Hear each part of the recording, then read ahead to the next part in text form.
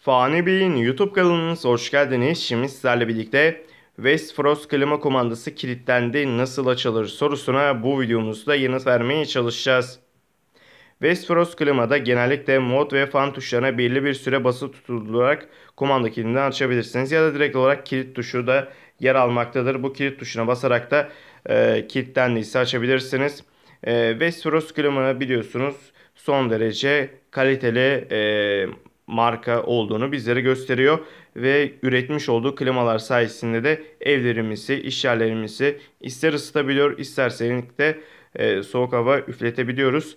Bazen kilitlenebilir ve bu kilitlendiğinde klima e, kumandası kullanılmaz hale geliyor. E, bunun için ekrandaki adımları takip edebilir ya da klima kumandanızı resetleyebilirsiniz. Videomuz bu kadardı. Umarım videomuzu beğenmişsinizdir. Videoyu beğendiyseniz aşağıdan beğen butonuna kılmayı unutmayın.